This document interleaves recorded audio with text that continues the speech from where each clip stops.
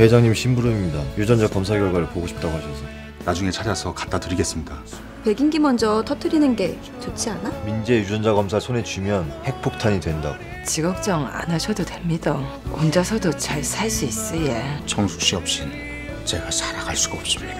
가까이서 보니까 더 닮았네. 누굴 닮았는데요? 여기서 부자지간이 아닌 걸로 나왔네. 만나뵈서 영광입니다. 어디서 많이 뵌 것 같아요. 처음 만났는데도 예전에 본 것처럼 친밀감을 느낀다. 그 진기야?